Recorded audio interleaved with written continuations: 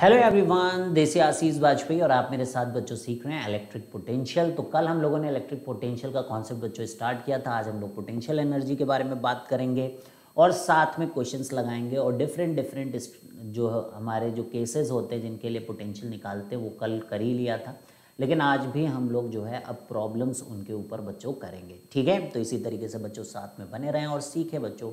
बहुत ही अच्छे से कि किस तरीके से जो है पोटेंशियल का कॉन्सेप्ट बिल्डअप किया जाता है। तो चलिए आगे बढ़ते बच्चों। तो अगर आपने अभी तक इजी मैथ चैनल या प्राइट बेन ट्यूटोरियल्स के ऐप को इंस्टॉल नहीं किया बच्चों तो ये सब फटाफट कर लीजिए। और हम बढ़ते बच्चों, बहुत काम है हमारे पास। तो चलिए इस समय हम लोग इलेक्ट्रिक पोटेंशियल में बढ़ें तो सबसे पहले हम लोगों ने कई केसेस बच्चों कल भी देखे थे और आज भी देख रहे हैं। तो आज सबसे पहला केस जो जा रहे हैं देखने, वो है कि इलेक्ट्रिक पोटेंशियल का कैलकुलेशन बच्चों due to charge disc due to charge disc at axis और बच्चों, इनका जो मैं प्रूफ कराता हूँ, ये आपको आना चाहिए।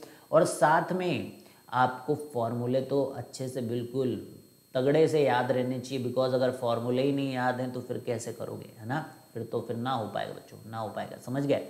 तो मेहनत पूरी करनी है आपको electric potential due to charge disc at axis तो आपको पता है कि आप डिस्क को किस तरीके से बच्चों क्रिएट करते हो। डिस्क को क्रिएट करने के लिए आपको एलिमेंट लेना होता है, ठीक है? You have to take the element और एलिमेंट किसका लेते हो? रिंग का। और रिंग का आपने पोटेंशियल निकाल लिया है बच्चों। ठीक है? रिंग का पोटेंशियल आपने निकाल लिया है। तो आर रेडियस पर या एक्स रेडियस पर अगर हम लोग यहाँ पर एक्स रेडियस ले लें, ठीक है? चलिए फटाफट करेंगे बच्चों हम लोग। एक्स रेडियस लेके डी एक्स इसकी विथ ले लें। इस रिंग की ठीक है? और ये दूरी जो है हमारी यहाँ से वो है आर अगर तो हम इस रिंग की वजह से पहले यहाँ पर पोटेंशियल लिखेंगे। तो कल ही आपने सीखा कि पोटेंशियल के लिए रिंग के लिए पोटेंशियल लिखना कोई बड़ी बात नहीं बच्चों, बहुत ही सिंपल होता है। तो क्या लिखते हैं? डायरेक्ट फॉर्मूला होता है बच्चों कि V P is equal to K D Q K D Q upon under root R square plus X square ठीक है? तो अगर हम ये डी वी पी लिखें तो this is K D Q divided by R square plus X square अब ये डी क्यू कैसे लिखा जाता है? That is very important D Q लिखने के लिए हम लोग चार्ज डेंसिटी यहाँ पर मान रहे हैं सिग्मा सिग्मा को मल्टीप्लाई करेंगे, देखिए ये इसका जो सरकम फेरेंस है एक्स रेडियस है तो ये सर्कल है, इसका सरकम कितना हो जाएगा? टू पाई एक्स और विथ कितनी है बच्चों? ये तो लेंथ हो गया तो ब्रेथ कितनी है? डी एक्स तो डी क्यू कितना आ गया भाई? सिग्मा इसको मैं डी क्यू लिख देता हूँ। तो D Q is sigma two pi X D X तो यहाँ पे जाके रख दीजिए आप। तो डी वी पी मतलब केवल इतने पोर्शन की वजह से बच्चों पोटेंशियल लिख रहे हैं हम लोग इस समय। तो सिग्मा और साथ में देखिएगा two pi X D X ये हमने लिख दिया है डी क्यू और यहाँ पर है हमारे पास के और यहाँ पर under root R square plus X square तो ये डी वी पी है. क्लियर है? ये डी वी पी है. अब इसी को इंटीग्रेट करेंगे हम लोग तो हमें वी पी मिल जाएगा. ठीक है? इसी को इंटीग्रेट करेंगे तो हमें डी वी पी मिल जाएगा. तो लेट्स गो फॉर इंटीग्रेशन तो यहाँ पर हमें डी वी पी और ज़ीरो से वी पी ठीक है? ज़ीरो से वी पी या वी पी लिख दो डायरेक्ट ठीक है? इतना क्यों टेंशन लेना? वी पी लिख लो. और ज़ीरो से आर आपको इंटीग्रेट करना पड़ेगा बच्चों। Sigma by two epsilon naught आप यहाँ से बाहर ले सकते हो। क्यों? क्योंकि यहाँ पर मैंने क्या किया है देखिएगा। फोर पाई एप्साइलम नॉट यहाँ पे सिग्मा है, यहाँ पे two pi X D X है और यहाँ पर आपके पास under root R square plus X square.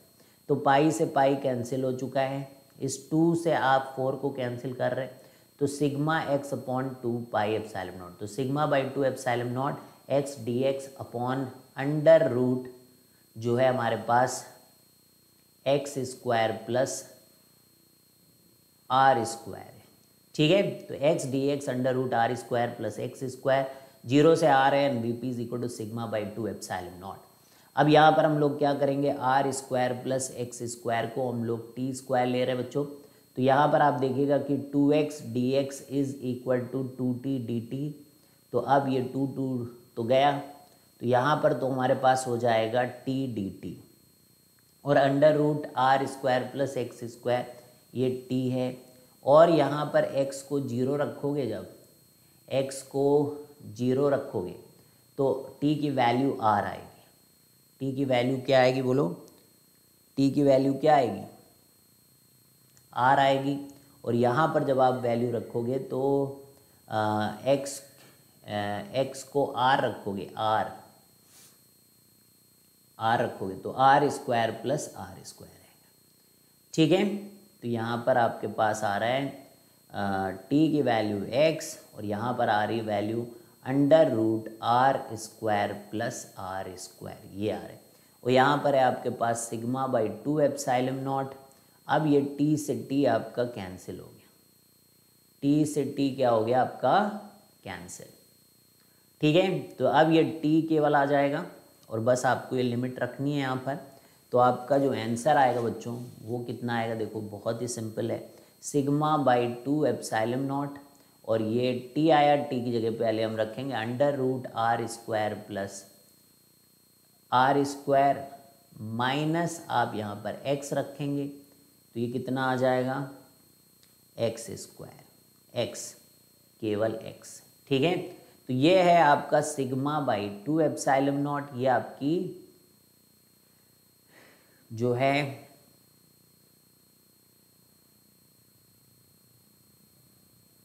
एक सेकेंड एक्स को ज़ीरो रखा था ना हमने? तो ये आर है आर ठीक है? और टी को कैपिटल आर रख दिया था। एक्स एक्स तो फिक्स है एक्स तो फिक्स है। नहीं एक्स ही वेरिएबल आर फिक्स है, ठीक है? हाँ तो आर से और एक्स को कैपिटल आर रख दिया था, ठीक है? सही है? एक्स को ज़ीरो रखा था तो आर आया बच्चों। और जब हम लोगों ने एक्स को रख दिया है कैपिटल आर तो R square plus capital R square तो टी आ गया। तो R square plus R square minus R तो नॉट एक्स इट्स आर तो ये फॉर्मूला है बच्चों, याद रखना है आपको। ठीक है sigma by two epsilon naught bracket में आपके पास है R square plus R square minus R तो ये है आपका पोटेंशियल फ्रॉम डिस्क तो डिस्क के पोटेंशियल का ये फॉर्मूला है, इसको आपको ढंग से याद कर लेना है, ठीक है? इलेक्ट्रिक फ़ील्ड का भी फॉर्मूला आपने पढ़ा है, उसको भी याद रखना है। तो चले बच्चों, अब इसी तरीके से अब हम लोग हेमिस्फेरिकल सेल के लिए निकालेंगे। हेमिस्फेरिकल सेल के लिए पोटेंशियल बच्चों निकालेंगे।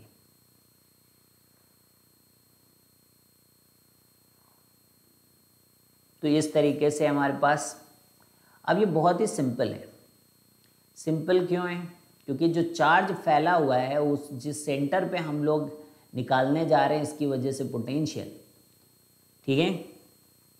तो हमें क्या पता है, हमें क्या पता है बच्चों, हमें जो पता है वो बहुत ही इंटरेस्टिंग चीज़ यहाँ पर पता है कि हर जगह से जो चार्ज की दूरी है ना, वो सेम है। हर जगह से चार्ज की जो दूरी है, वो सेम है। अच्छा एक चीज़ जो याद रखनी चाहिए, सबसे पहले हेडिंग लिख देता हूँ मैं। That is potential due to due to hemispherical shell potential due to hemispherical shell ये लिख देता हूँ मैं heading potential due to hemispherical shell इसकी वजह से पोटेंशियल हमको लिखना है। तो अब इलेक्ट्रिक फ़ील्ड एट सेंटर अगर आपको बोला जाए तो that is nothing but sigma by four epsilon naught ये याद करने के लिए आपको बोला गया था कि हेमिस्फेरिकल शेल की वजह से जो इलेक्ट्रिक फ़ील्ड होती है, वो sigma by four epsilon naught होती है. अब बात आती है कि पोटेंशियल लिखी जाए. तो पोटेंशियल कैसे लिखेंगे भाई? तो देखो, अगर डी क्यू चार्ज कहीं पर भी मैं ये डी क्यू चार्ज ले लो बच्चों डी क्यू चार्ज तो V K D Q divided by आपकी जो भी इसका रेडियस है दैट इज़ कैपिटल आर क्योंकि ये शेल जो है, इसकी दूरी, हर चार्ज की दूरी जो है, वो कैपिटल आर होगी। तो v is equal to K times D Q by capital R तो अब हम लोग, ये तो डी वी सी है, उस छोटे से चार्ज की वजह से तो इंटीग्रेशन करेंगे बच्चों। तो V C is equal to K by R और इंटीग्रल जो है, वो डी क्यू है। तो ये कितना आता है? K by R into Q ठीक है? तो वी सी जो आता है that is K by R तो one upon four pi epsilon naught one upon four pi epsilon naught R और क्यू को क्या लिखोगे आप बताओ? क्यू को सिग्मा के टर्म्स में लिखोगे चार्ज डेंसिटी तो ये आधे स्फेयर का कितना होता है? Two pi R square surface area होती है। तो टू पाई आर स्क्वायर से आप मल्टीप्लाई कर दो तो पाई पाई कैंसिल टू से फोर कैंसिल तो ये आता है आपका सिग्मा आर आर से आर कैंसिल ऑब्वियसली आर से R cancel so this is sigma R divided by two epsilon naught तो जो पोटेंशियल एट द सेंटर है this is sigma R divided by two epsilon naught ठीक है? That is the potential at the centre अब देखिए, एक special case इसके अंदर रहता है जो आपको पढ़ना है। कि कोई पार्ट ऑफ़ द शेल से अगर आपसे पोटेंशियल पूछा जाता है बच्चों पार्ट ऑफ़ द शेल मतलब मैं एक स्पेयर पहले बना लेता हूँ डैश डैश करके वाइट है ये पूरा पोर्शन ठीक है? अब इसमें से आपको क्या करना है? इसमें से आपको क्या करना है?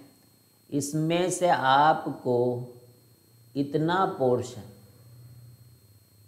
इस इतने पोर्शन शेल के लिए, इतने पोर्शन सेल के लिए आपको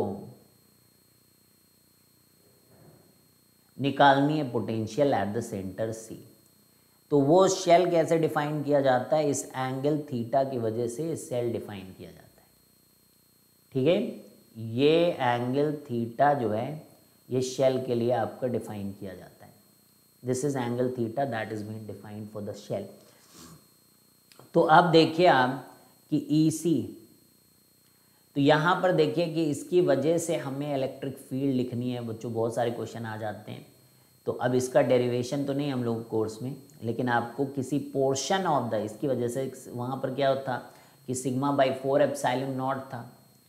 आपके उसके लिए क्या कहते हैं हेमिस्फेरिकल शेल के लिए इलेक्ट्रिक फ़ील्ड तो इसके लिए कितनी होगी? यहाँ पे मैं पोटेंशियल के बारे में बात नहीं कर रहा हूँ, बच्चों इलेक्ट्रिक फ़ील्ड के बारे में बात कर रहा हूँ। तो sigma by four epsilon naught sine square theta ये है, ये फॉर्मूला आपको याद रखना है। ठीक है? तो ऑब्जेक्टिव क्वेश्चंस या कोई भी क्वेश्चन आ गया आपका शॉर्ट क्वेश्चन तो आप आराम से इसको कर सकते हैं। तो चलिए क्वेश्चन नंबर वन शुरू किया जाए बच्चों। Find the field at the centre find the field at the centre electric field at the centre मैंने बोला था ना कि इलेक्ट्रिक फ़ील्ड ख़त्म नहीं हुआ है बच्चों। वो चलता ही रहेगा। So find the field at the centre अब यहाँ पर एक फिगर आपको दिया गया है। अब यहाँ पर एक फिगर आपको दिया गया है। और इस फिगर में क्या होता है बच्चों?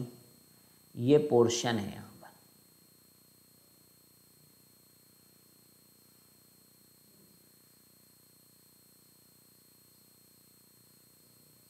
ठीक है?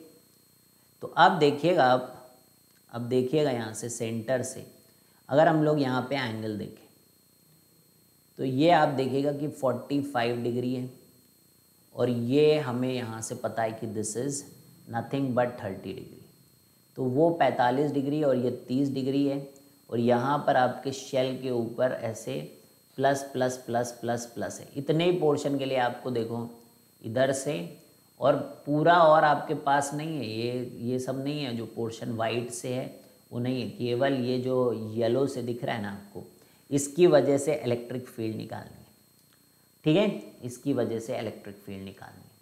तो देखिए आप, इधर थर्टी डिग्री है, इधर फोर्टी फाइव डिग्री है, और जो फॉर्मूला है किसी भी एक पोर्शन की वजह से वो है sigma by four epsilon naught sine square theta तो बताओ साइन स्क्वायर फोर्टी फाइव बड़ा होगा कि थर्टी बड़ा होगा?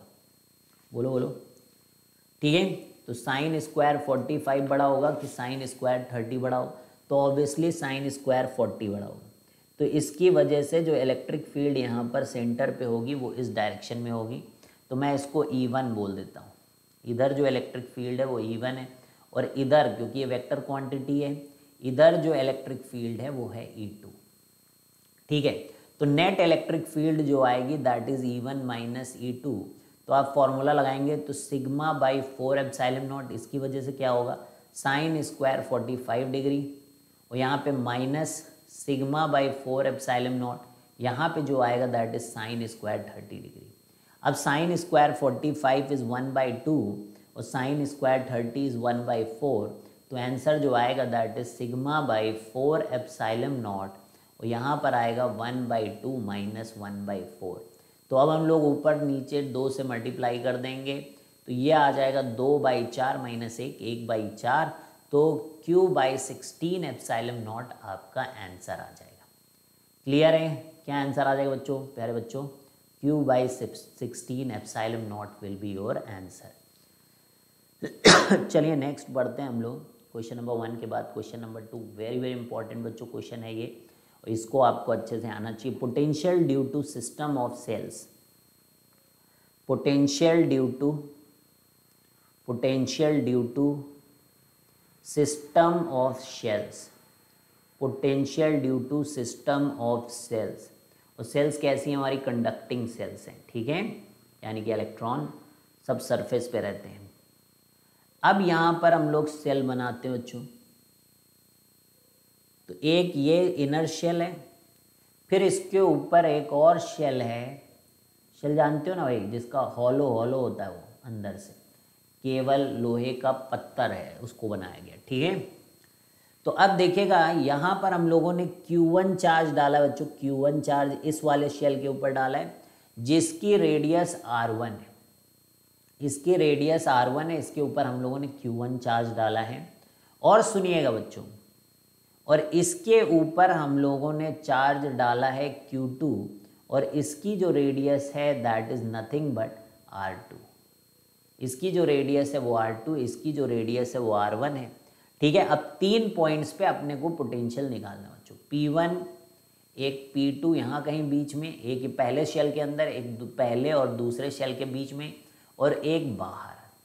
इसको आर का फ़ंक्शन लेना आर का फ़ंक्शन मतलब ये दूरी आर मान के फिर करेंगे, ये दूरी आर मान के फिर ये स्मॉल आर अब हमें तीन पोर्शन यानी कि वी पी वन हम लोग कैसे आपसे क्वेश्चन पूछा जाएगा?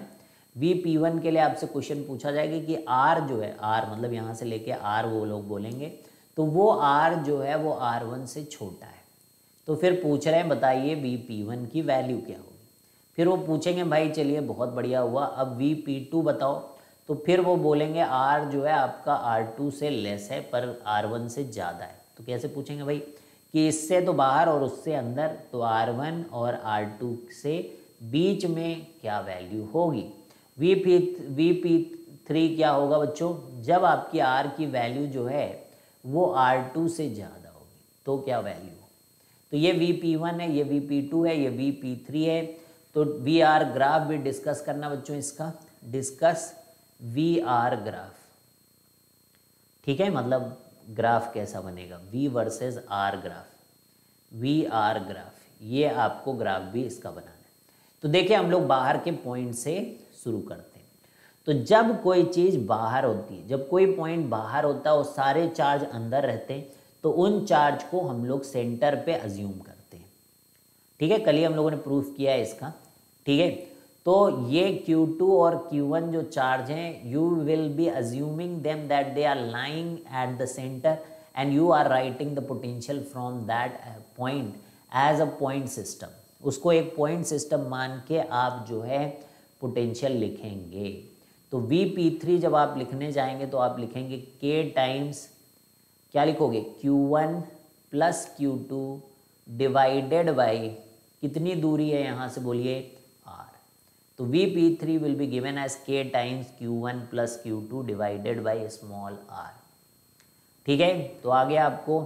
अब जब आप वी पी टू पे जानते हो वी पी टू पे तो वी पी टू पे क्या करना है? जो अंदर लिखा है, जो अंदर है, अंदर पॉइंट है मतलब इसके ऊपर चार्ज क्यू वन दिया ना तो ये चार्ज आपको सेंटर पे अज्यूम करके यहाँ की दूरी को आर मानते हुए लिखना पड़ेगा। K Q one divided by small R बोलो भाई के क्यू वन बाई जो अंदर है, उसको सेंटर में मान जो बाहर है, जो बाहर है, जो बाहर है, उसका क्या करें? उसकी पोटेंशियल जस्ट लिख दें। इस पॉइंट की पोटेंशियल उसकी लिख दें। That is K times Q two divided by capital R two तो ये हो जाएगा इसका पॉइंट टू का पोटेंशियल यहाँ पे कितनी पोटेंशियल है, बस वो लिख दो, ठीक है? क्योंकि आप देखो, आपको चार्ज को पहले यहाँ तक लाना होगा। तो यहाँ तक लाने में आपका इतना वर्क डन हो जाएगा। ठीक है? फिर इसकी वजह से यहाँ पर इतना पोटेंशियल इतना और वर्क डन आपको करना पड़ेगा बच्चों, इस चार्ज को लेकर आने के लिए तो वो हो जाएगा K Q one by are ठीक है? तो समझ में आ रही बात? तो ये वी पी टू पोटेंशियल हो गया है। अब वी पी वन कैसे लिखेंगे? तो देखो, इसके लिए दोनों चार्ज बाहर है। इसके लिए दोनों चार्ज बाहर है। बताओ ये, क्या करोगे? तो भाई दोनों चार्ज बाहर है तो इस पॉइंट का पोटेंशियल लिखें आप, जो कि कितना होता है K Q one divided by R one है ना? इस सेल के ऊपर अगर पोटेंशियल लिखना हो तो K Q one by R one और इसका पोटेंशियल क्या है? के क्यू टू भाई आप बाहर वालों का बस जहाँ पे हैं, वो वहाँ का पोटेंशियल लिख दो। तो V P one will be given as K Q one upon R one plus K Q two upon R two that is your potential अब इसका ग्राफ कैसे बनेगा? बहुत ही सरल है। ध्यान से बस सुनिए। पहले हम लोग पी थ्री पॉइंट ले लेते हैं। ठीक है? एक काम करो, पहले आर वन पे कितनी पोटेंशियल है? देखिए आर वन तक पोटेंशियल कांस्टेंट है। आप देखिए। यहाँ पे अगर आप जाएँ तो पोटेंशियल कितनी है? हर जगह हर जगह पोटेंशियल बच्चों कितनी है, यही पोटेंशियल है। वी पी वन वाली ही पोटेंशियल है हर जगह। पूरा जब तक आप यहाँ पर नहीं पहुँच जाते, तब तक यही पोटेंशियल है। तो आर वन डिस्टेंस तक आपकी पोटेंशियल ये है। ठीक है? ये कितनी है कांस्टेंट वैल्यू ये हम इसको नाम दे देते हैं वी पी वन नाम दे देते हैं। ये वाली पोटेंशियल को नाम क्या दे देते हैं? वी पी वन उसके बाद क्या होता है, देखिए, एक तो फिक्स पोर्शन है, इसके अंदर वी पी टू के अंदर ये वाला फिक्स पोर्शन है, लेकिन उसके बाद ये घटने लगता है के क्यू वन भाई K Q one R one से फिर धीरे धीरे धीरे धीरे घटता घटता घटता जा रहा है। तो ये थोड़ा सा आपका नीचे की तरफ़ जाएगा बच्चों। तो इसको मैं थोड़ा सा डैश डैश कर दूँ। तो ये ग्राफ आपका यूँ कुछ नीचे जाएगा, ठीक है? तो ये यूँ यूँ यूँ यूँ यूँ यूँ यूँ यूँ यह आर टू हो जाएगा, ठीक है? इसके बाद क्या होता है भाई? इसके बाद आपका देखिएगा वी पी थ्री पूरे चार्ज के साथ वन बाई आर है तो ज़्यादा स्लोप के साथ ये फिर गिरता है, ऐसे इन्फिनिटी को चला जाता है। ठीक है? तो क्लियर है? तो यहाँ पर भी देखिए वन बाई आर का फ़ंक्शन था तो इस तरीके से। यहाँ पर भी देखिए वन बाई आर का ही फ़ंक्शन है, यहाँ पर भी। यहाँ पर एक फिक्स कांस्टेंट तो केवल इतने ही पोर्शन से गिर रहा है, यहाँ पे के टाइम्स तो थोड़ा ज़्यादा गिर रहा है। ये तो कांस्टेंट है भाई R one constant R two K Q one तो बस constant Y is equal to constant का ग्राफ बना दिया हम लोगों ने तो ये आपका हो जाता है बच्चों, बहुत सिंपल है। कोई दिक्कत तो नहीं। ठीक है? तो क्लियर है भाई, बता चल गया आपको, बहुत ध्यान से करने वाली चीज़ थी, कर लिया आपने। तो चलिए हम लोग question number three potential due to point charges हम लोग लिखने जा रहे हैं।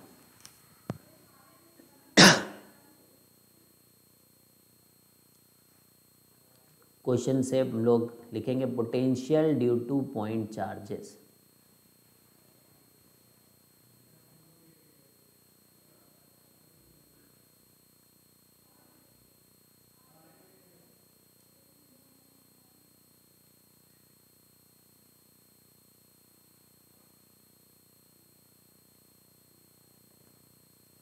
तो ये है ए ये है बी ये है सी ये है डी ठीक है?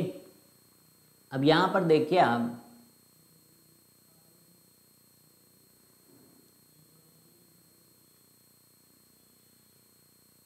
ठीक है? तो ए बी सी डी तो potential due to point charges तो ए पे पोटेंशियल निकालना है ओ पे पोटेंशियल निकालना है। कहाँ कहाँ निकालना है? एक तो ए पॉइंट पे पोटेंशियल निकालना है और एक ओ पॉइंट पे पोटेंशियल निकालना। ओ कौन है? ये इंटरसेक्शन ऑफ़ स्क्वायर है।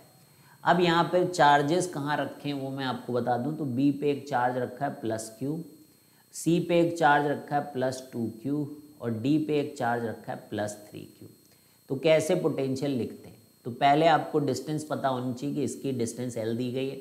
ये सब L because it's a square फिर ये रूट टू एल हो जाता भाई लोग, है ना? डायगनल की लेंथ कितनी हो जाती पता ही होगा आपको रूट टू एल तो ये सब बातें आपको और फिर रूट टू एल को टू से डिवाइड कर दोगे तो एल बाई रूट टू हो जाएगा। यहाँ से सेंटर से दूरी कितनी हो जाएगी? एल बाई रूट टू हो जाएगी। अगर कहीं से सेंटर से लेनी हो, पूरे डायगनल की लेंथ लेनी है तो रूट टू एल ये सब पता ही होगा आपको। अब हम लोग वी ए लिखने जा रहे हैं तो ध्यान से देखिएगा कि वी ए कैसे लिखा जाता है। ठीक है बच्चों? शुरू भी कर दिया हमने वी ए लिखना, अब ध्यान से। तो वी ए लिखना बहुत ही आसान है कि सी एक पॉइंट से शुरू करते हैं बी से शुरू करते हैं। तो बी से लिखने का मतलब के क्यू बाई एल समझ में आया? क्योंकि इसकी दूरी बस लेनी है और पॉइंट चार्ज का जैसे लिखते हैं वैसे लिखिए। इसके लिए K Q two Q charge है और लेंथ कितनी? रूट टू एल तो नीचे रूट टू एल लिखना है। बोलो भैया, कोई दिक्कत? इसके लिए K three Q divided by L तो ये पूरा ऐड कर लोगे तो ये आएगा four k Q by L और ये आ जाएगा two K Q by root two L.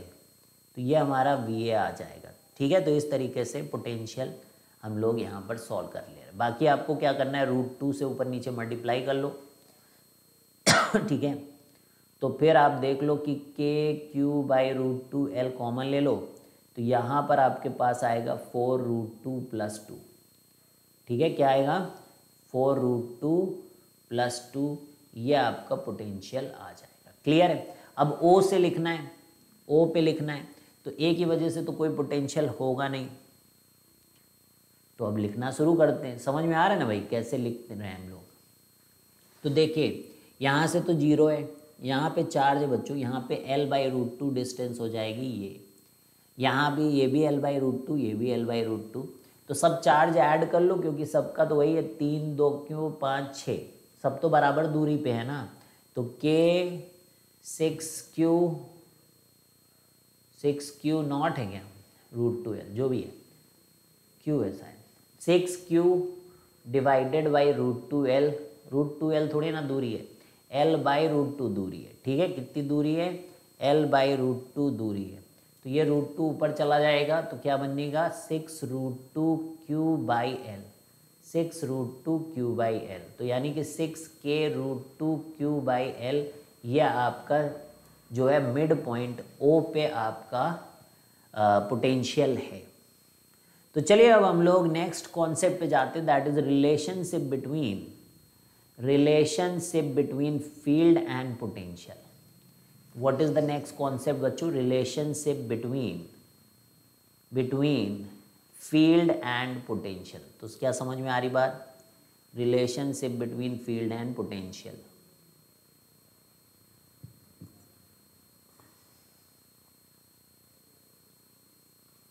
तो अब आपको कैसे देखिए तो रिलेशन सब पहले पहले तो मैं रिलेशन आपके लिए लिख देता हूँ बच्चों। तो V F minus V I that is what minus of integral E dot D R ठीक है? तो ये स्केलर क्वांटिटी है तो minus E dot D R और इंटीग्रल ठीक है? अब यहाँ एक बात आपको ये माइनस साइन क्या बताता है? What is the significance of this minus sign ये पूछा जा सकता है। तो in the direction of electric field ये क्या बोल रहा है कि in the direction of electric field potential decreases in the direction of field potential क्या हो जाता है? डिक्रीज करता है। पोटेंशियल डिक्रीजेस ठीक है? So in the direction of field potential decreases फिर नेक्स्ट क्या है? ई e, दूसरा क्या है? अब देखो इसी को हम लोग ऐसे लिख सकते हैं। डी वी माइनस ठीक है? ऐसे डी वी लिख सकते हैं इसको। Minus integral E dot D R ऐसे लिख सकते कि नहीं लिख सकते? अब ये सेकेंड हम लोग यहाँ से बनाएँगे। अब एक चीज़ को बहुत ध्यान से देखना, एक नया फॉर्मूला यहाँ से क्रिएट करेंगे। अच्छे से करते हैं, ठीक है? ये फ़र्स्ट ये पॉइंट इसके लिए नोट पोटेंशियल और इलेक्ट्रिक फ़ील्ड अगर इलेक्ट्रिक फ़ील्ड आपको वेक्टर फॉर्म में दी गई हो तो आप इस तरीके से पोटेंशियल निकाल सकते हैं। अब हमें क्या पता है? बहुत ध्यान से समझिएगा। We know we know work done by Kanjar कल भी मैंने बताया था माइनस ऑफ़ डेल्टा यू होता है। We know work done by conservative forces is equal to minus delta U and that is nothing but U I minus U F क्या होता है? U F minus U I होता है। Delta का मतलब क्या होता है? हमेशा फाइनल से इनिशियल माइनस भेजोगे तो U I minus U F तो अब कंजर्वेटिव फोर्स है हमारा इलेक्ट्रोस्टैटिक फोर्स फ़ील्ड तो अब उसके द्वारा वर्क डन अगर लिखोगे तो force of electric field dot D R vector भैया, यही होता है है ना? और जो ये है, ये पोटेंशियल वगैरह लिखा जाता है charge into V I minus V F ठीक है? यू बराबर क्यू वी नहीं पता हो तो। क्लास टेंथ में भी पढ़े energy is equal to charge into voltage याद करो? याद भी कर लो कभी कभी है ना? अब देखिए V I minus V F V I minus V F is equal to integral F E dot D R F E dot D R divided by one upon Q naught ठीक है? बोल दो बच्चों। अब देखो इसको मैं अंदर भेज दूँगा because it's a constant thing अभी देखना फॉर्मूला कैसे उछल उछल के आएगा। F E dot Q naught dot D R अब ये क्या है भाई? एफ़ बाई क्यू क्या होता है? Force divided by Q electric field तो V I minus V F बच्चों is equal to integral E dot D R लेकिन हम क्या लिखते हैं? V F minus V I तो माइनस एक कॉमन आएगा माइनस इधर भेज दो। तो V F minus V I is equal to minus of integral E dot D R ठीक है? ई डॉट डी आर तो क्लियर है भाई? तो कर लोगे? तो ये प्रूफ हो गया आपका। पहला प्रूफ तो फ़र्स्ट प्रूफ कर लिया हम लोगों ने कि V F minus V I is equal to minus of integral E dot D R तो ठीक है, याद रहेगा बच्चों प्रूफ बहुत इंपॉर्टेंट है। अब नेक्स्ट एक और चीज़ करने जा रहे हैं हम लोग। ध्यान से देखते रहिएगा बस।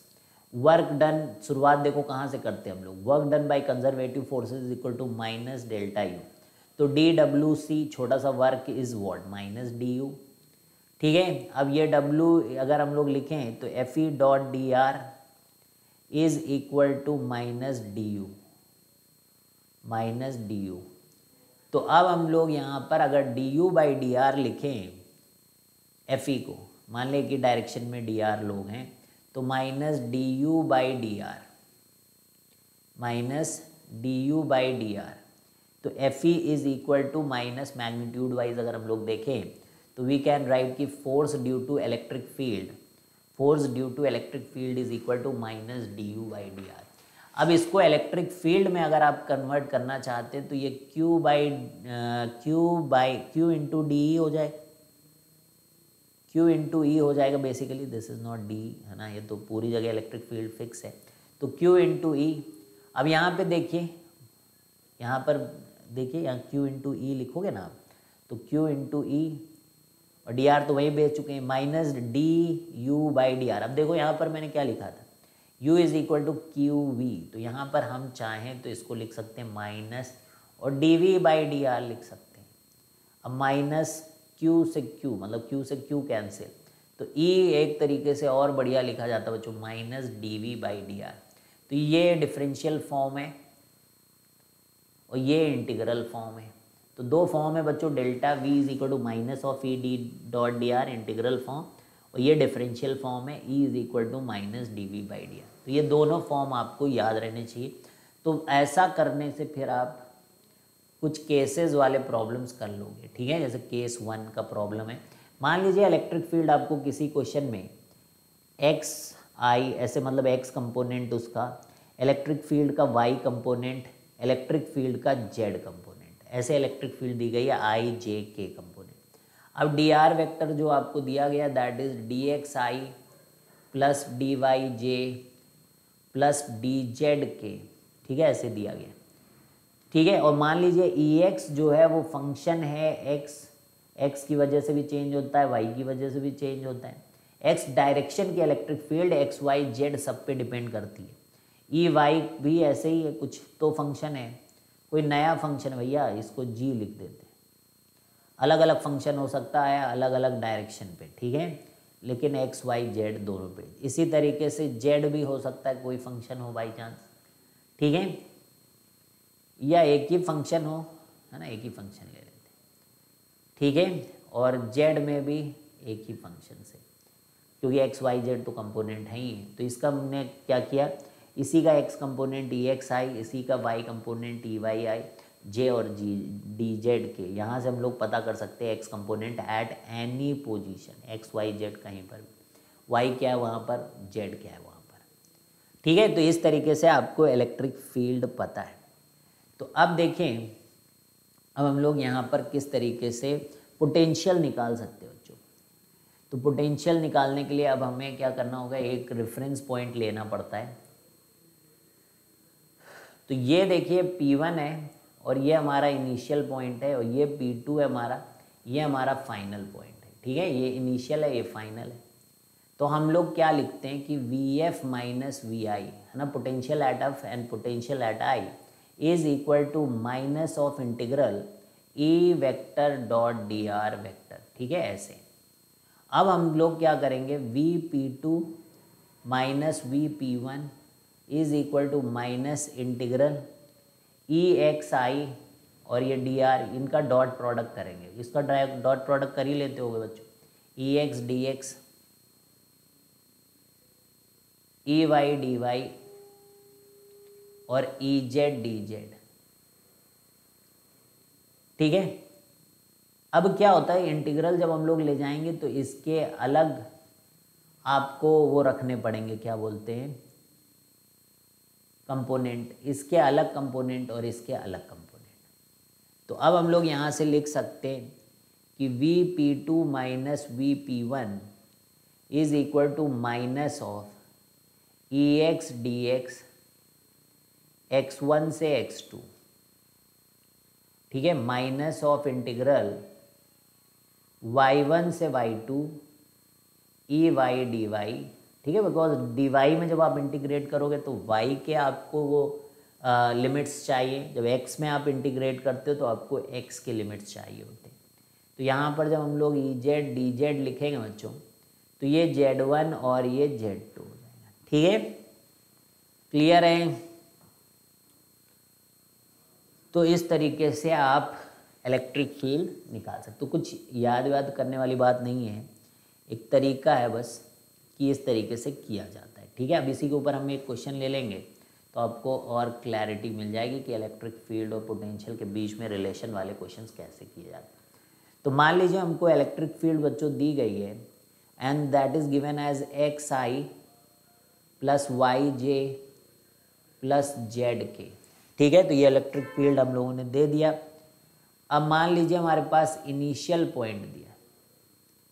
इनिशियल पॉइंट की जो वैल्यू है, वो क्या है? ओ, मान लिया हमने वो, उसको रिप्रेजेंट कर रहे हैं तो उसके कोऑर्डिनेट्स हैं zero comma zero capital O है।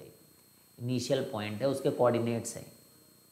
अब आ रहा है हमारे पास फाइनल पॉइंट तो फाइनल पॉइंट जो है, वो है पी और इसके जो कोऑर्डिनेट्स हैं, वो हैं टू थ्री फाइव इसके कोऑर्डिनेट्स क्या हैं?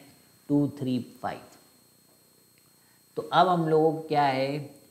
कि zero comma zero comma, zero पे जो पोटेंशियल है, वो मान लिया गया कि वो ज़ीरो है। और अब हमसे पूछा गया कि भाई पोटेंशियल निकालो दो, तीन, पाँच पे। क्या निकालो? Potential at two three five तो अब फॉर्मूला कैसे है इसका? कि वी पी और ये तो ज़ीरो ही है यहाँ पर। ठीक है? ये तो ज़ीरो ही है पोटेंशियल देखो ज़ीरो है तो यहाँ ज़ीरो। माइनस एक लिखो। और x के कोऑर्डिनेट देखो कि कहाँ से कहाँ चेंज हो रहे हैं। ज़ीरो से टू और देखो कि x में क्या लिखा हुआ है? x डी एक्स ठीक है, फिर माइनस अब y कहाँ से चेंज हो रहा है? ज़ीरो से तीन तो लिखो ज़ीरो से तीन। y कितना है? y तो लिखो y y डी वाई अब तो कर लोगे ज़ीरो से पाँच जेड डी जेड बस। ठीक है? अब हमें क्या करना है? इसको इंटीग्रेट करना है तो V P is equal to minus of X square divided by two limits put करना है अपने को ज़ीरो से two minus Y square divided by two zero से three minus Z square divided by three zero से five तो two का square four by two is minus two तो potential at P is equal to minus two यहाँ पे three का square is minus nine by two five का square is twenty five by two ठीक है? तो अब इसको हम लोग क्या कर सकते थर्टी फोर बाई टू यानी कि माइनस सेवेंटीन तो माइनस नाइनटीन आपका पोटेंशियल एट पी आ जाएगा। ठीक है? कर पाए आप पोटेंशियल एट पी तो केस वन में क्या था? कि इलेक्ट्रिक फ़ील्ड का फ़ंक्शन दिया रहेगा और आपसे पोटेंशियल पूछ रहे होंगे। सो दिस इज़ हाउ कि इलेक्ट्रिक फ़ील्ड का फ़ंक्शन दे रहे हैं और आपसे एक इनिशियल पॉइंट पे पोटेंशियल जो है दिया है फाइनल पॉइंट पे पोटेंशियल पूछ रहे होंगे। इलेक्ट्रिक फ़ील्ड दी गई है। फिर पोटेंशियल आपसे पूछ रहे हैं। So this is how you have to find out है ना? Potential with the help of electric अब हियर क्या है? केस टू पे देखिए केस टू बच्चों case two case two here potential will be given here potential will be given यहाँ पे क्या होगा? पोटेंशियल गिवन है. And they will ask about point they will ask about field at some point they will ask about field they will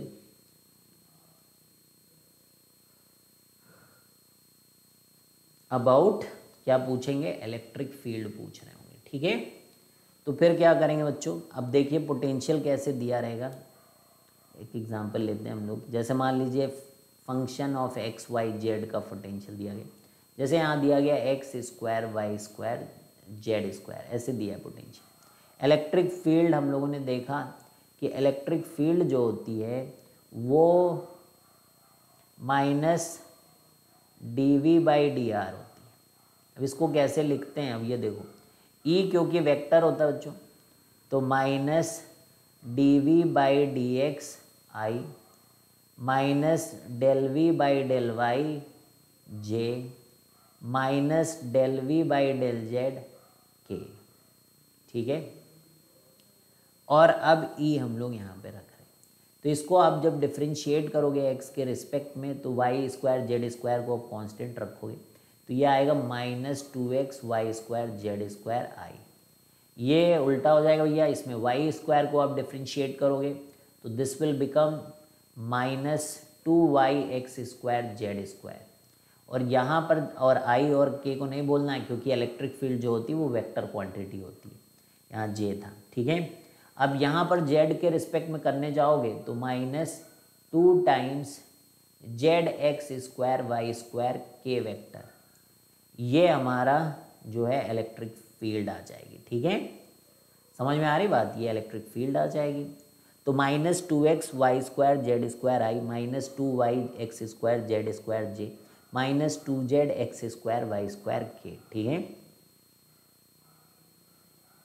तो ये आप जो है यहाँ पर देखिए। अब हमें क्या करना है यहाँ पर? बस यही करना है। अगर वैल्यू वैल्यू दी होती कि यहाँ पर इलेक्ट्रिक फ़ील्ड निकालो तो एक्स वाई जेड की वैल्यू रख देते। पर इस तरीके से करना है। कर क्या रहे हम लोग? जेड के रिस्पेक्ट में differential treating others as constant यही डेल का मतलब होता है। पहले भी आपने वर्क एनर्जी पावर में भी इस तरीके के कॉन्सेप्ट देखे। ठीक है? वी को एक्स के रिस्पेक्ट में करो, बाकी को ट्रीट करो एज दे आर कॉन्स्टेंट तो वाई स्क्वायर जेड स्क्वायर को मैंने छुआ भी नहीं। मैंने एक्स स्क्वायर को टू एक्स लिख दिया। माइनस साइन तो अपने आप ही रहता है डिफिनीशन की वजह से। फिर वाई स्क्वायर का टू वाई लिख दिया, बाकी X square Z square as it is है। फिर यहाँ पर भी देखो एक्स स्क्वायर वाई स्क्वायर को एज इट इज़ रख दिया और यहाँ पर टू जेड होता है। So this is how you have to treat काफ़ी क्वेश्चन एस सी वर्मा में दिए गए बच्चों, ठीक है? तो आप आराम से जो है, कर सकते बहुत सारे प्रॉब्लम इसके ऊपर। अब नेक्स्ट कॉन्सेप्ट पे हम लोग जा रहे हैं that is electric potential energy ठीक है? तो next concept that we are going through is electric potential energy ठीक है? तो डिफिनीशन मैं बता दूँ, कुछ नहीं है बच्चों। पोटेंशियल की जो डिफिनीशन है, वो आपने देखा ही था कि वो पोटेंशियल एनर्जी से ही डिफिनीशन आ रही तो ज़्यादा मुझे कुछ समझाना नहीं है। The potential energy the potential energy possessed by system possessed by system of system of point charges मान लो हमने दो पॉइंट चार्जेस ले लिए two point charges Q1 and Q2 Q1 and Q2 separated by distance separated by distance separated by distance R is the work required is the work required is the work required to bring them to bring them to this arrangement to this arrangement to this arrangement from infinity from infinity ठीक है? The electrostatic potential energy the electrostatic potential energy the electrostatic potential energy is given by energy is given by is given by u is equal to q1 q2 by four pi epsilon naught R ठीक है तो समझ में आ रहा है? So it is the basically ये भी लिख लो note it is the work done it is the work done in bringing in bringing charge in bringing in bringing Q two charge from infinity, from infinity in the field of q1 in the field of q1 ठीक है बच्चों? तो electric potential energy के बारे में बात करते हैं। तो potential energy possessed by system of two point charges system of two point charges Q N and Q two separated by distance R is the work required to bring them to this arrangement from infinity the electric potential is given by अब देखो क्या है। अब जैसे potential को define किया था तो आप देखो वो पोटेंशियल एनर्जी पर चार्ज था, जो डिफिनीशन थी उसकी। तो क्यू एन चार्ज यहाँ पे रखा हुआ है। और क्यू एन चार्ज को जैसे मान लीजिए अरेंजमेंट बनाने का मतलब ये है कि पहले क्या है, कुछ नहीं था। तो आप लेकर आ रहे हो क्यू तो आपको किसी के विरुद्ध काम ही नहीं करना है। तो आप कहीं पर भी ले जाके क्यू एन रख दो। कोई वर्क डन नहीं होगा। जब कोई फ़ील्ड ही नहीं है तो वर्क डन क्या होगा? अब लेकिन आपने जैसे क्यू एन को सेटअप किया तो इलेक्ट्रिक फ़ील्ड एक जनरेट हो गई बच्चों चारों तरफ़। अब जब आप दूसरा चार्ज ले रहे हो Q2 इसके पास लाने की कोशिश कर रहे हो तो ये इसकी इलेक्ट्रिक फ़ील्ड आपको जो है रेजिस्ट कर रही है। तो आप उसके खिलाफ वर्क डन करते हो। तो जब आप वर्क डन करते हो, यहाँ तक जितना भी वर्क डन करते हो, जब इनके बीच की दूरी आर हो जाती है बच्चों तो वो वर्क डन जो है हम लोग लिखते हैं as a potential energy that is Q one Q two by R K one upon four pi F naught Q one Q two by R this is what it is और देखो, अगर minus charge होगा तो minus तो charges को हमें कैसे लेना है? विद साइन पोटेंशियल एनर्जी निकालते वक्त हमें चार्जेस को लेना है विद साइन ये पेयर ऑफ़ चार्जेस के लिए बच्चों डिफाइंड रहता है। तो यहाँ पे लिख लीजिए नोट नोट लिख लीजिए। While while writing potential while writing potential while writing potential और potential energy charges must be multiplied with their sign charges must be multiplied with their sign multiplied with their sign with their sign ठीक है? अब चलिए, एक figure दिया है आपको. I don't know which question is जो भी है इलेक्ट्रिक पोटेंशियल एनर्जी का पहला क्वेश्चन बच्चों ये electric we have to find electric potential find electric potential अपने को फाइंड आउट करना है, ठीक है? We have to find out the electric potential तो we we have to find the work done find the work done potential energy potential मतलब पर unit charge से डिवाइड कर दो भाई. Find the work done by agent agent to assemble them to assemble them to assemble them them as in figure as in figure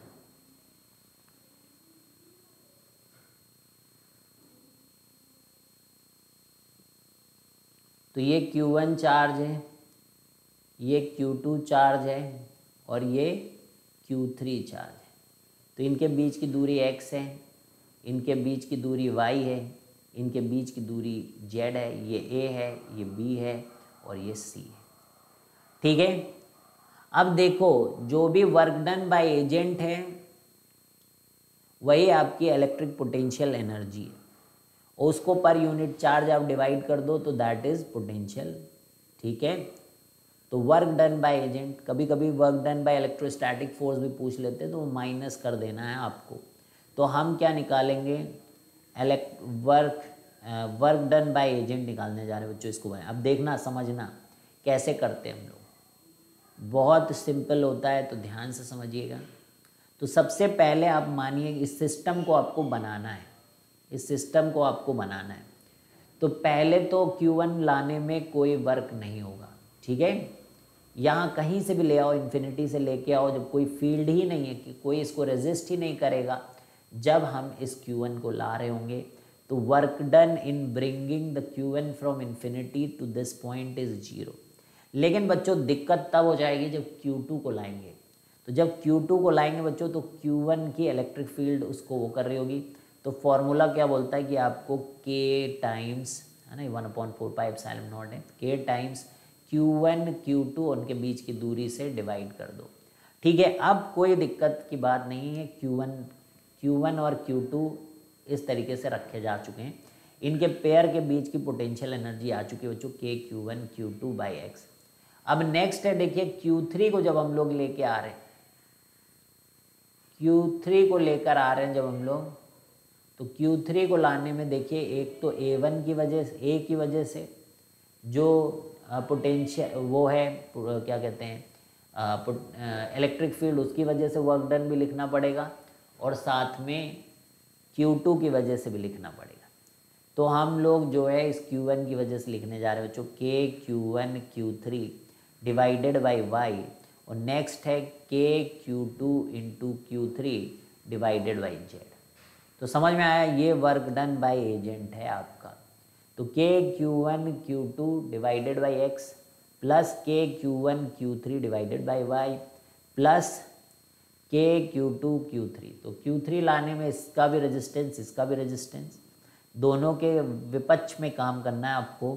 तो इसलिए आपके पास यहाँ पर देखिएगा कि कितने टर्म आ रहे हैं बच्चों। तो टर्म यहाँ पर हमारे पास आ रहे हैं तीन। ठीक है, कर पा रहे हो आप? कर पा रहे हो बच्चों? तो आसान है आई थिंक तो नेक्स्ट नेक्स्ट सिस्टम बनाओगे बच्चों? क्वेश्चन नंबर टू का सिस्टम बनाते हैं। इसमें भी आपको work work done by agent to assemble the system to assemble the given system book वगैरह में भी क्वेश्चन करना। To assemble the given system तो करने का तरीका मैं बता रहा हूँ लैंग्वेज आप बुक्स वगैरह में आपको बहुत सारे क्वेश्चन मिलेंगे। तो work done by agent to assemble electrostatic अगर पूछें कि क्या है work done by electrostatic minus लगा देना। बाकी पूछेंगे इस पूरे का पोटेंशियल एनर्जी क्या है सिस्टम का तो वो भी वर्क डन बाय एजेंट ही होता है। पोटेंशियल क्या है इस पॉइंट की तो potential energy divided by unit charge जो भी मतलब चार्ज आप ला रहे हो पहले पोटेंशियल एनर्जी सब सबकी लिख लो। फिर आपको क्या करना है? चार से डिवाइड करना ठीक है? तो एक स्क्वायर बनाना हमें इस बार we have to make one square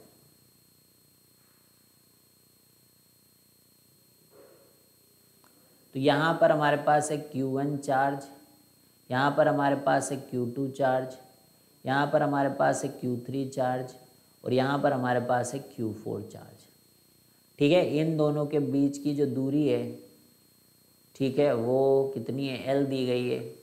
तो ये भी एल ये भी एल ये भी एल ये भी एल इनके बीच में रूट टू एल इनके बीच में भी रूट टू एल अब हम लोग जब क्यू वन लेके आते बच्चों, जब हम लोग यहाँ पर क्यू वन लेकर आते हैं तो ये आप सोच लीजिए कि क्यू वन को लाने में कोई वर्क डन नहीं होता है। तो work done by agent potential energy जो बोलना चाहो, वो बोलो। तो क्यू वन को लाने में कोई वर्क डन नहीं करना पड़ता, क्योंकि किसी की भी पोटेंशियल किसी की भी फ़ील्ड नहीं होती है। फिर जब Q2 को लेकर आते बच्चों तो Q1 की वजह से दिक्कत होती है तो हम लोग लिखते के क्यू वन क्यू टू और उनके बीच का जो भी गैप है। ठीक है एल दूरी है तो k q one q two by l बस उस समय तक यही था। लेकिन जिस समय हम लोग क्यू थ्री लेकर आ रहे होंगे बच्चों तो उसको क्यू वन से भी सामना करना पड़ेगा और क्यू टू का भी सामना करना पड़ेगा। तो आप लिखोगे k one q one q three और इनके बीच की दूरी है रूट टू एल लिख दो भैया। और फिर आप देखिए इसके साथ लिखिए K Q two Q three उसके बीच की दूरी है एल ठीक है? तो क्यू थ्री लाने में सारे नाटक हो गए बच्चों। अब नेक्स्ट नाटक स्टार्ट फॉर क्यू फोर तो क्यू फोर का तो क्यू वन को भी देखना क्यू टू को भी देखना क्यू थ्री का अब इससे ज़्यादा नहीं पूछेंगे वो लोग, नहीं तो कब तक लिखते रहोगे आप, ठीक है? तो ये एल फिर आपका के टाइम्स क्यू फोर और क्यू थ्री के बीच की दूरी एल और क्यू टू के बारे में जब लिख रहे होगे बच्चों तो that times that will be q two q four divided by root two l तो एक, दो, तीन, चार, पाँच छः तो टोटल छः टर्म यहाँ पर बच्चों आपको लिखने पड़े। जिसमें से दो रूट टू एल और बाकी के टर्म जो है आपको एल वाले दिख रहे चार टर्म तो अब इसका हम लोग शॉर्टकट भी बना सकते हैं बच्चों। ठीक है? शॉर्टकट जितने चार्ज हों तो ध्यान से देखिएगा। जैसे यहाँ पे तीन चार्जेस हैं तो आपको क्या करना है? Three c two n c two इसको कहते हैं एन सी टू शॉर्टकट लेकिन ये तभी आप अप्लाई करिएगा जब सारे चार्ज एक जैसे हो। मतलब एक एक आ, मतलब सारे पॉजिटिव हों एक पोलैरिटी के चार्ज हो। ठीक है? टर्म ही नहीं मिल रहा था मुझे। एक पोलैरिटी के चार्ज हो। यानी कि सारे अगर पॉजिटिव हैं तो अपन को यूज़ करना है मैथड जल्दी से आप लिख सकते हो। या सारे निगेटिव मतलब एक सा नहीं होगी एक प्लस एक माइनस है।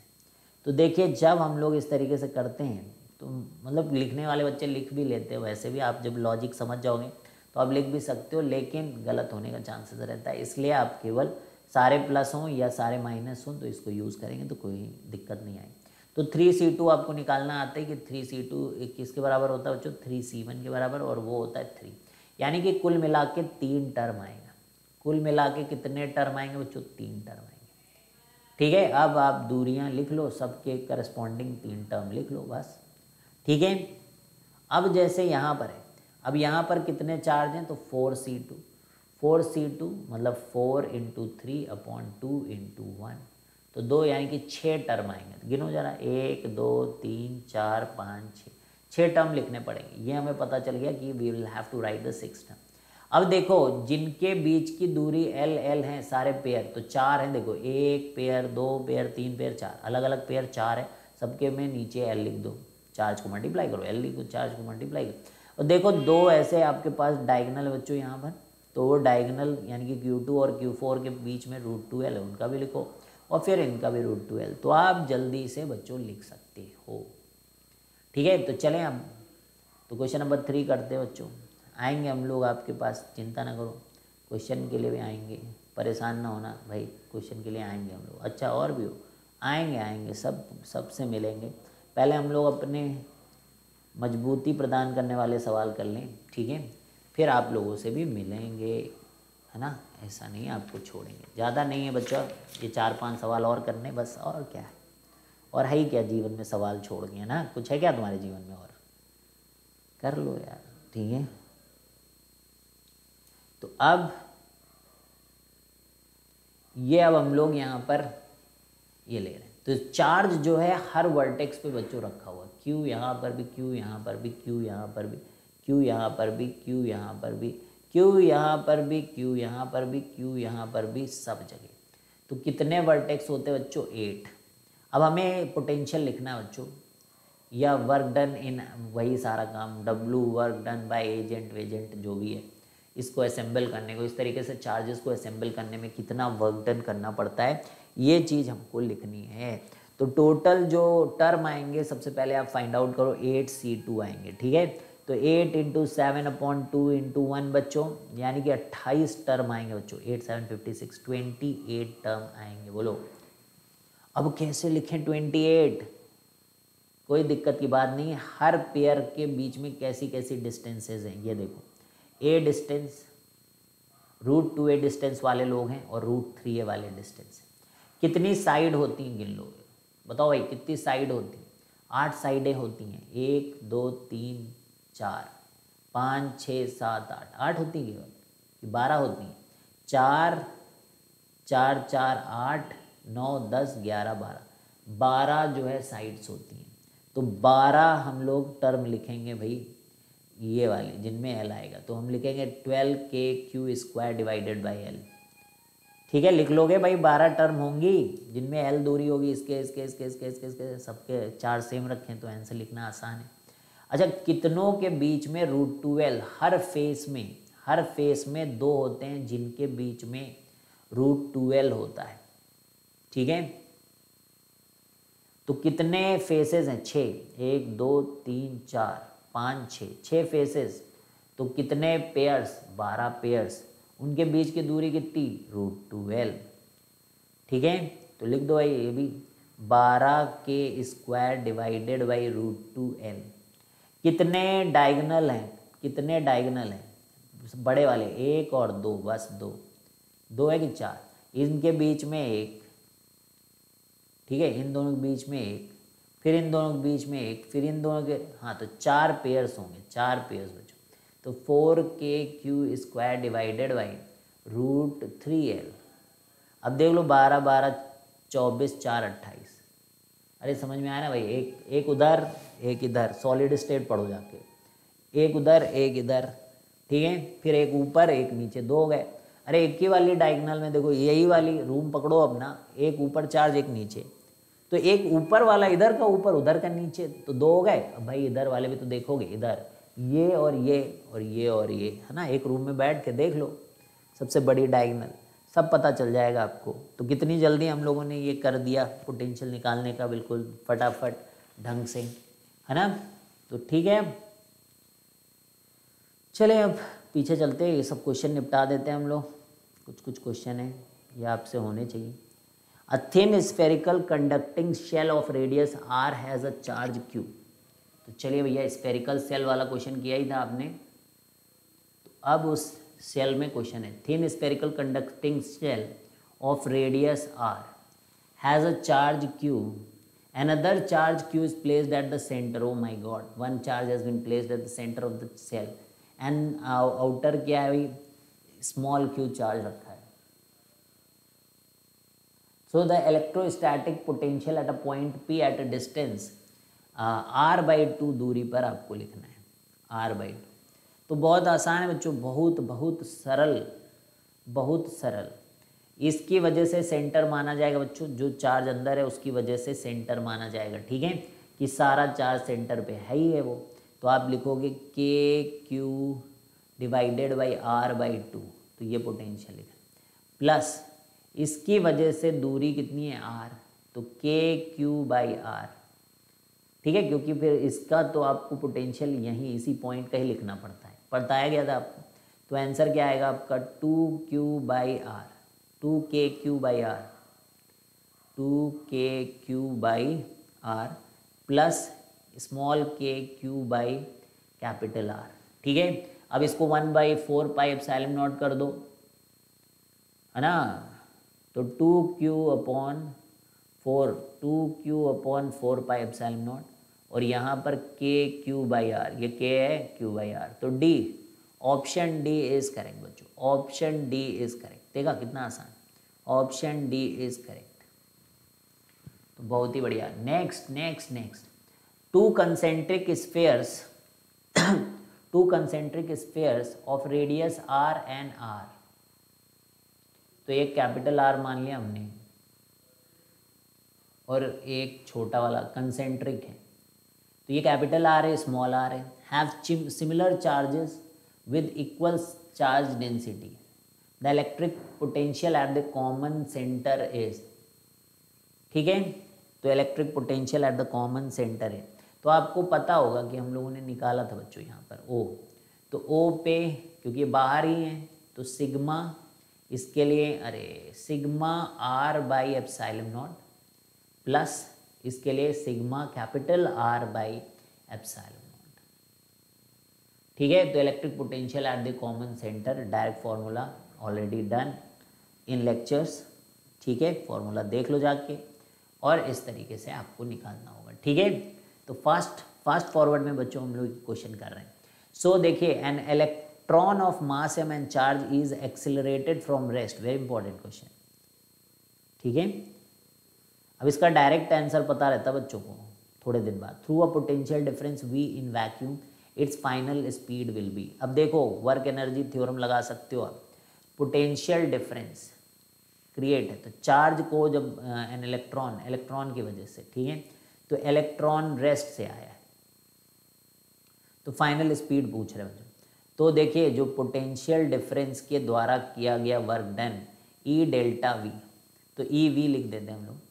ई वी ये क्या है? वर्क डन पोटेंशियल डिफरेंस तक आया work done is equal to change in kinetic energy that is half m v square बोलो भाई। Work done by the agent is what e work done by the agent is what charge को multiply करो potential difference पाओ you will be getting that and that entire work done is equal to change in kinetic energy accelerated from rest through a potential difference तो ये work done है and that is equal to what half m v square so from here can we not find out the velocity speed तो two e v by m का under root is v ठीक है? तो आ गया. Two e v by m ठीक है? Work done is equal to change in kinetic energy that's it work done is potential difference into charge ठीक है? तो आ गया भैया ऑप्शन ए तो नेक्स्ट आइए नेक्स्ट नेक्स्ट इसको क्या करना है? The work done required to put the four charges at the corner of square of side a as shown in the figure तो इसमें से कुछ प्लस हैं, कुछ माइनस हैं। तो अलग अलग हैं। आपको यहाँ पर लिखना पड़ेगा बच्चों। ठीक है? ये ए है, ये ए है, ये ए है, ये ए है। ठीक है? तो पूरे के लिए आपको लिखना है। किसके लिए? पूरे के लिए। पूरे के लिए लिखना भाई, पूरे के लिए। बताओ कैसे एक एक को लाओ और लिखो। तो पहले लेकर आओ एक को। तो उसकी वजह से वी क्या लिखना है? Work done by agent.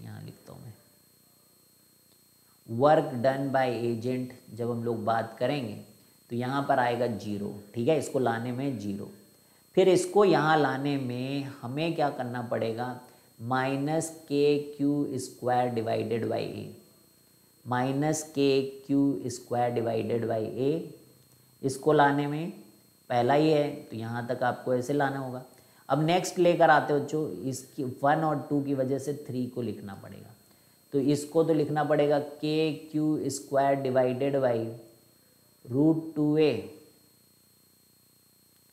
root two a ठीक है? बोलो भैया root two a k q square divided by root two a और इसके वजह से आएगा minus k q square divided by a तो एक इसकी वजह से लिखा और एक इसकी वजह से, दो की वजह से। छः टर्म होने हैं, तीन टर्म आ चुके हैं। चौथे भाई साहब को लाएँगे तो इसको तीनों की वजह से दिक्कतें हैं। तो इसके लिए हमें लिखना पड़ेगा minus k q square divided by a, फिर minus k q square divided by a, और इसके लिए लिखना पड़ेगा plus plus k q square divided by root two a. एक, दो, तीन, चार तो इसको लिखा जाएगा minus four k q square divided by a, और इनको दो हैं तो यहाँ पे लिखा जाएगा plus two k q square divided by root two a तो ऊपर आ जाएगा आपका रूट टू ए ठीक है? बोलो बोलो। तो माइनस फोर के तो four into four two into six तो ये two k square divided by root two a.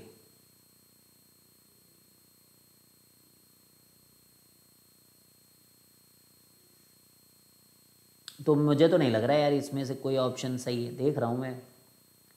तुमको भी लग रहा है क्या? कुछ सही है। के को लिख लो भाई, और क्या करें? अब ये देखो यहाँ पर रूट टू ए है। तो इस रूट टू से इसको कैंसिल कर लें तो ऊपर तो रूट टू हो जाएगा। है ना? अब k Q square by a को कॉमन ले लो बच्चों। के क्यू स्क्वायर बाई ए को कॉमन ले लें। तो ये रूट टू माइनस फोर आ रहा है। अब इसको मैं लिख लेता हूँ, ये one upon four pi epsilon naught अच्छा टू पॉइंट सिक्स कहीं ना आ जाए। चेक करना पड़ेगा भाई। माइनस लेकर आओ बाहर। तो ये फोर माइनस रूट टू हो भी सकता है। फोर और वन पॉइंट फोर होता है ना? दस चार छ हाँ लो भैया। आ गया। गजब है लो।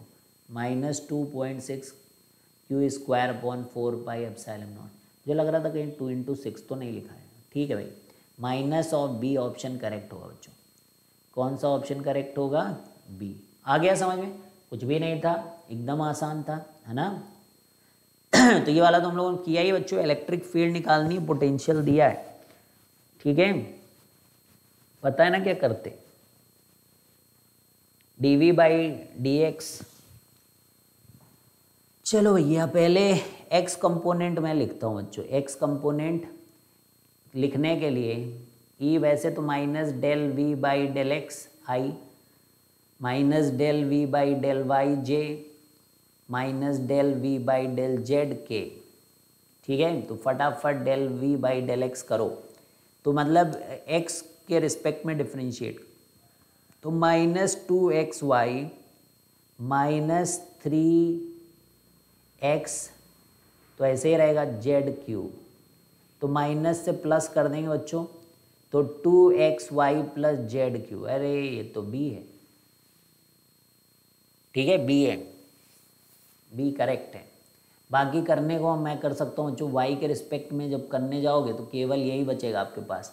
यहाँ तो कहीं वाई है ही नहीं तो जब डिफ्रेंशिएट करोगे तो कांस्टेंट है सब तो ये प्लस एक्स स्क्वायर आ जाएगा। जेड के रिस्पेक्ट में करने जाओगे तो केवल यही, ये सारे ज़ीरो हो जाएँगे तो ये थ्री जेड स्क्वायर हाँ ठीक, आ गया।